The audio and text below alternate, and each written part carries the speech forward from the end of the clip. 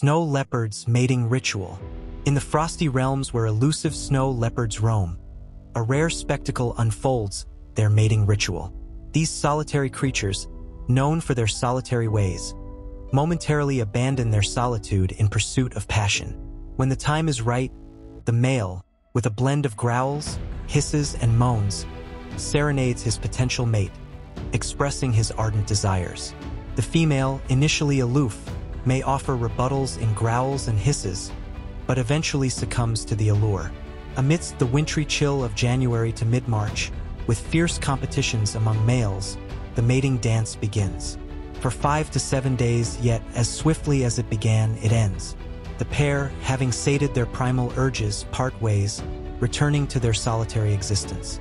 Snow leopards face threats. Habitat loss, poaching, climate change.